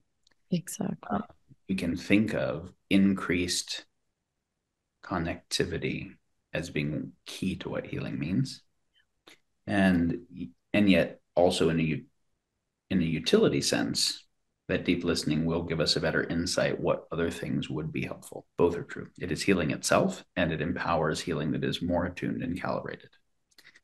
Um, but I would say it's not others more than self. Self is a part of the whole, right? Uh, mm. I would say most people don't have a deep enough listening like this with their own self because they go too quickly into what is the fix it thing um, or they go too quickly into also what is the coping strategy and the um, or moralizing themselves to do the right behavior the way their parents did, which is their internal parent voice, not their kind of higher self voice or whatever. And to sit deeper with like, where does this feeling come from? Can it, what's under that feeling? What's under that one? What, when did I first feel this? That process of self attention and listening and love with self, I think, is a huge part of how the authentic healing happens also. And that is so true. And then one of the things that occurs to me when you're talking about this is one of the real problems with social media and with technology is that the listening is really one way. And you know we're the technology and the social media is not listening to us. We're listening to it. And you know so there's there's this sort of real disconnection and this real breakdown of bilateral communication which you know in some ways i come out more pessimistic about it than i went in after talking to you. Well there was a study done by harvard psychology department that i remember reading many years ago. I don't remember all the details but the gist i found this so fascinating was they had people go on dates with two different kinds of people, but the people it was blinded where the people who were going on the date did not double blinded. The people who were going on the date didn't know what the two different types of people were that were being tested. And the other people that were the types of people being dated didn't know what thing they were a subclass of or that they were an instance in the class of. But the key was they had um, the test audience date someone who was very interesting and kind of like would generally be considered very interesting. They had spoke seven languages, had a bunch of degrees, had great stories, had been all around the world, whatever, things like that.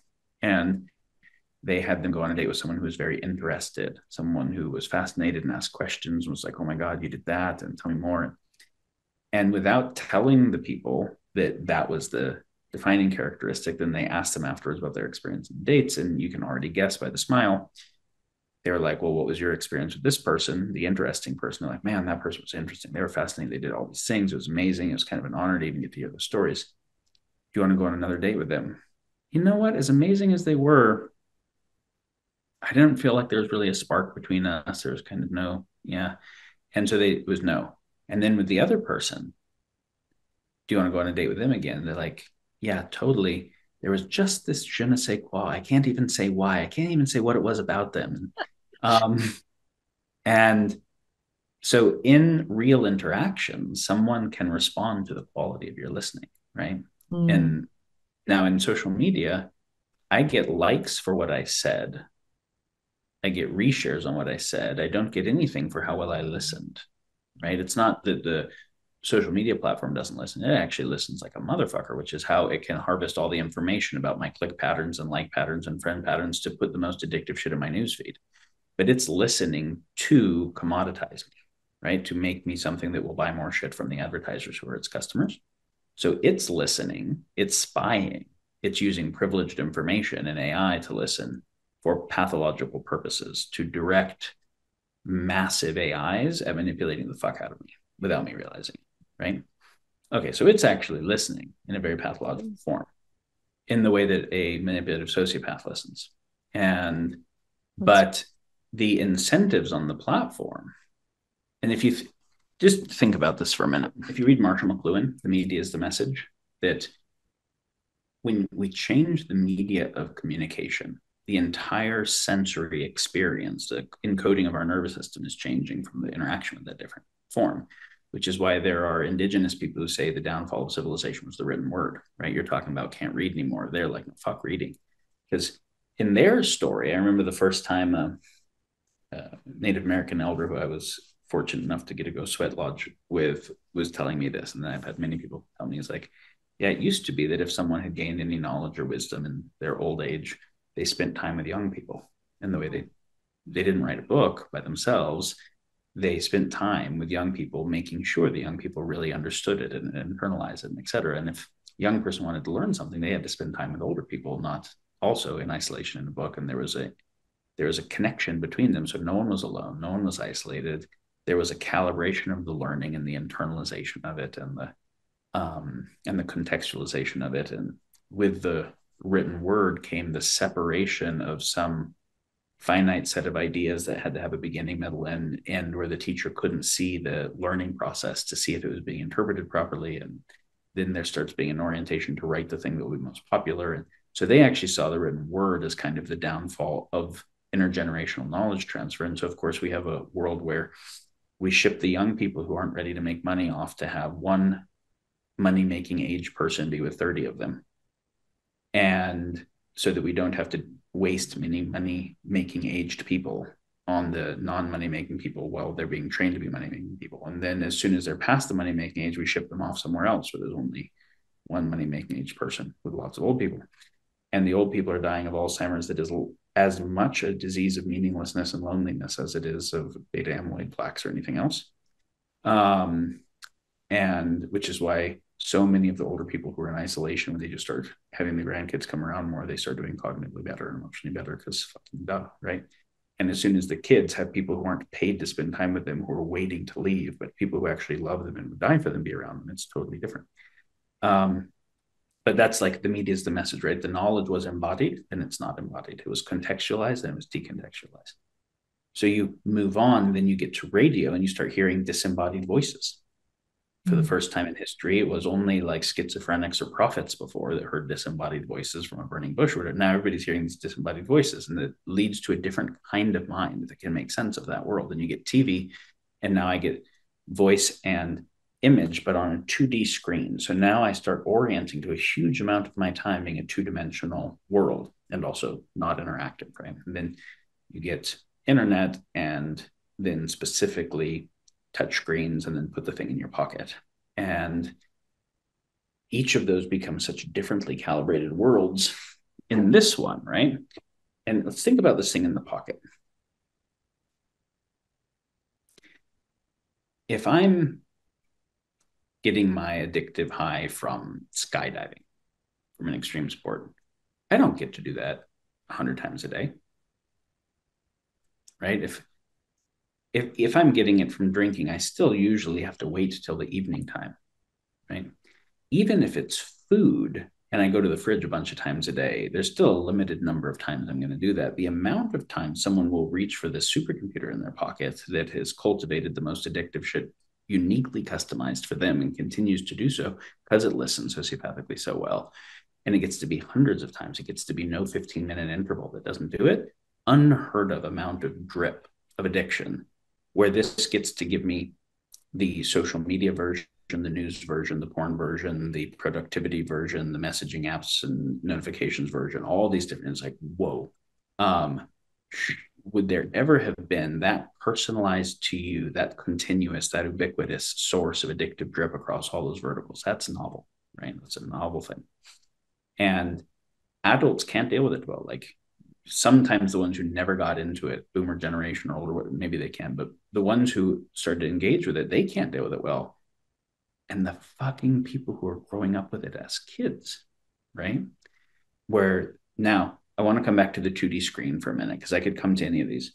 There's another study that i saw that i found fascinating many years ago that was looking at languages that had very different phoneme patterns, where if people learned the language after a certain age, they almost never got a perfect accent. Mm. Um, and English and Japanese was one of the examples given in the LR correspondence and how hard that is.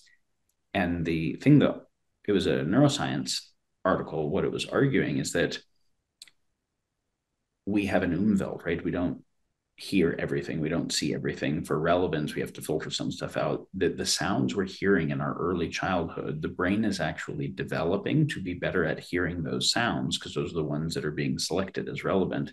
That if there's a particular kind of phoneme that you didn't hear in your early development, you might never be able to hear it because the brain actually develops, the auditory cortex develops to hear the sounds that it was in its developmental environment exposed to. Okay, so now in a evolutionary developmental environment for humans.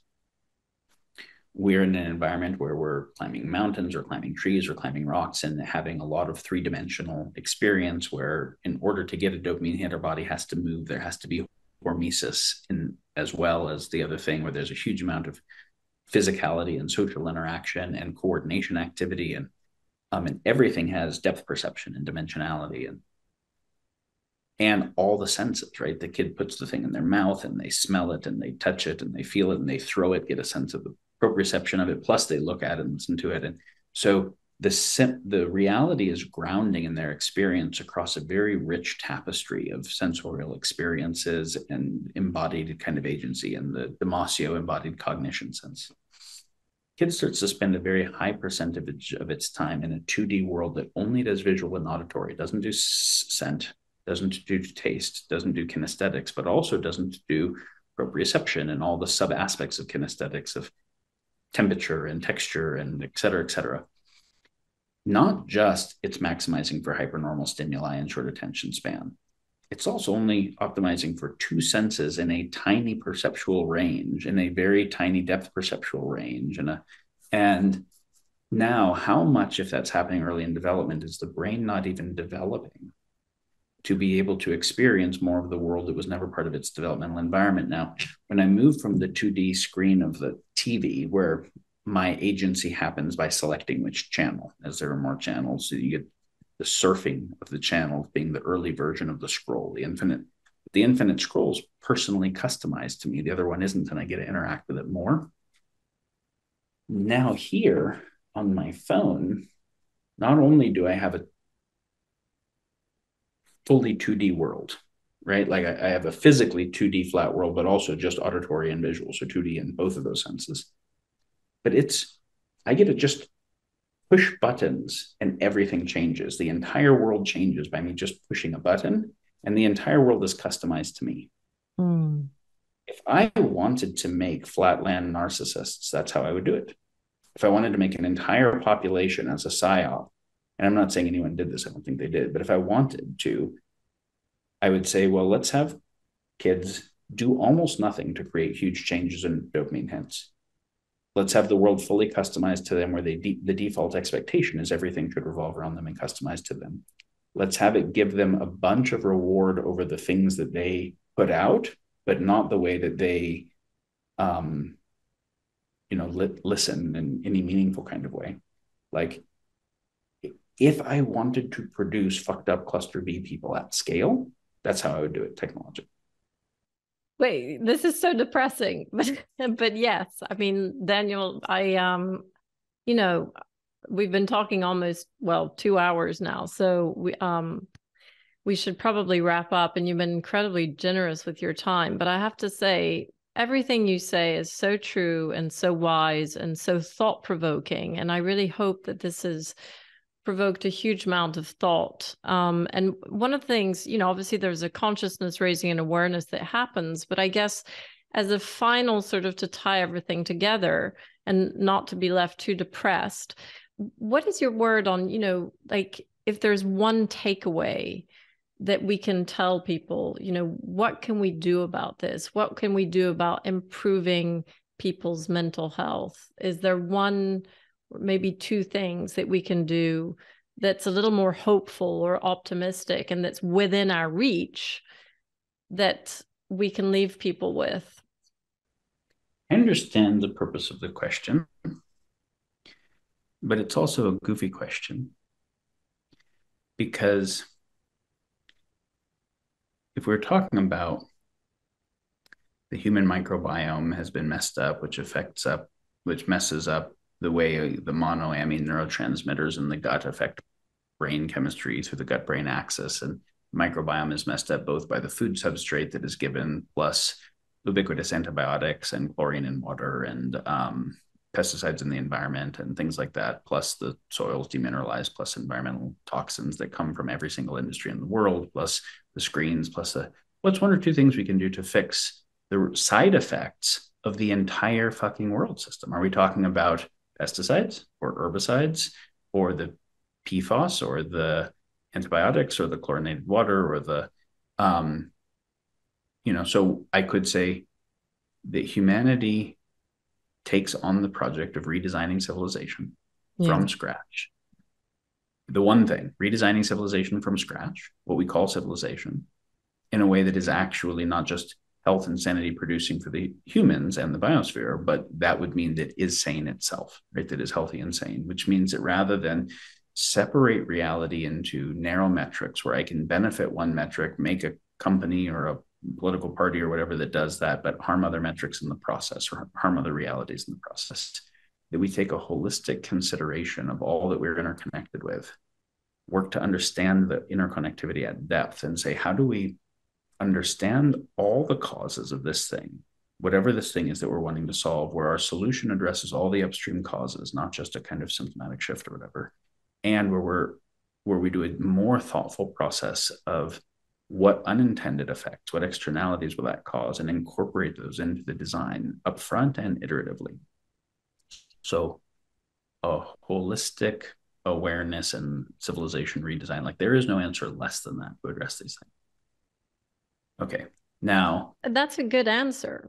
I mean, that's to me, it's it's about awareness. I mean, you know, we we uh, become aware and we learn, and then with that awareness and that learning, we try to redesign civilization in our own small way. Now let's come back to. I, I'm I'm going to try to give you a more practical answer because I'm also going to bring up the fact that most people will never let themselves have awarenesses that are too consequential or painful. And if they do, they can't hold them. Mm. So somebody watches a documentary that shows that the coral are all being bleached or the oceans are being overfished or that climate change and things are being venusified or all the kids that are being um, in child slave labor in a mine in DRC or they and in either they don't watch that, right? Or if they do, they go numb and try not to take it in. Or if they really take it in and they're devastated, then what? because their job does not care about that, right? Their job requires them to focus on uh, growing the department or winning the upcoming election or whatever the fuck thing is that they do. And there's a huge amount of demand. They need to put all their attention on it. And their family needs all these things. And there's a to do list at home. And there's a, and so even if, or it's not they watch the documentary, they're with a family member as they die. And they're like, my whole life is fucking meaningless. I'm doing all the things wrong. What that person said they would redo differently. I'm set up to live my life where I die with a huge amount of regret. And then they will lose that awareness in almost no time, right? Or they go to Vipassana or they do an ayahuasca retreat. And then, so as soon as they come back on this thing and scroll for 15 minutes, all that's gone, right? The the awareness has to have an attention span to it, or it has to have an environment that keeps re-anchoring us. Because otherwise, we are creatures that can modify our environment, but we are also in turn continuously modified by our environment and our psychosocial environment. So if you wanted to ask me practically,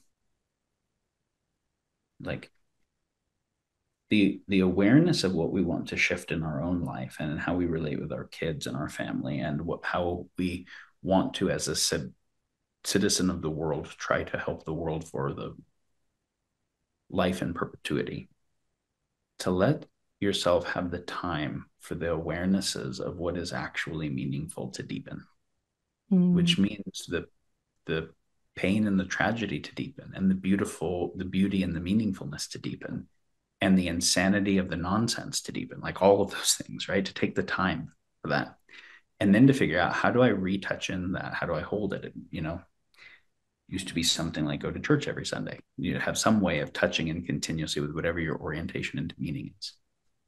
Um, the very tangible thing is start surrounding yourself with people who already are more. Because mm. the environment of information you take in and the social environment you take in will affect you and the things that you do to try to affect yourself independent of that will be kind of swimming upstream so if you can pay attention to in the moments of greatest clarity what you would like to inhabit your mind more and in the moments of greatest clarity what you would like to inhabit the time of your behaviors in your calendar more. And then say who is already aligned with that? Or if i was spending more time with them that would be continuously in my mind as opposed to only rarely in my mind. Mm. uh, that's one thing that will make a tangible difference quickly. I mean could say lots of things but that's really really beautiful and i think that's a great place to leave it and um, you've been so generous with your time daniel and i'm so grateful and thank you so much for coming on the mind health 360 show and I wish you were president of the United States and you could change things the way you wanted to. I think, you know, we need more people like you in the world. So thank you. And um, yeah, uh, here's to better mental health and better planetary health. I know we didn't touch on most of the topics of practically psychotherapeutic methods and psychospiritual insights that are applicable and functional medicine for psychiatry. And so, um, if there are, I know you have so many brilliant guests that are at cutting edge of that, but if there's stuff for us to address in the future, that would be fun. I'm happy that we got to talk bigger picture today. I would love that. Let's do a part two with the more specifics of, you know, cutting edge um, functional medicine, cutting edge therapies, because I know you're brilliant at that as well. So let's make that a part two. I would be curious actually to see what the people that are in your sphere who watch this have as questions and interests following. Yeah, there'll be comments and uh and we can address those. Thank Thanks. you so much, Daniel. I'm so grateful. Daniel Schmachtenberger. And what is your website so people can find a, out more? Civilization Research Institute doesn't actually have a proper site up right now. Um, Consilience Project does and then I have a blog, civilizationemerging.com. It's uh it's old, but people can check okay. So find Daniel at the Consilience Project um, and an old blog at civilizationemerging.com. But uh, just Google Daniel Schmachtenberger and he's got incredible podcasts with incredible people. and all on different topics. He's a real polymath and he can talk about pretty much everything under the sun. So I'm incredibly grateful to have had you talk about mental health and all the extensions around that. So thank you, Daniel. Thank you so much for listening to the Mind Health 360 show. I hope that we've helped you realize that mental health symptoms have root causes that can and need to be addressed in order to sustainably heal, and have given you some ideas about steps you, your loved ones, or clients may take to start their healing journey. Please share this interview with anyone you think may find it helpful, and don't forget to subscribe to keep up to date with our latest interviews on integrative mental health. If you want further information, please go to www.mindhealth360.com or find us on social media. This information is for educational purposes only and is not intended to diagnose or treat any disease or to replace medical advice. Please always consult your healthcare practitioner before discontinuing any medication or implementing any changes in your diet, lifestyle, or supplement program.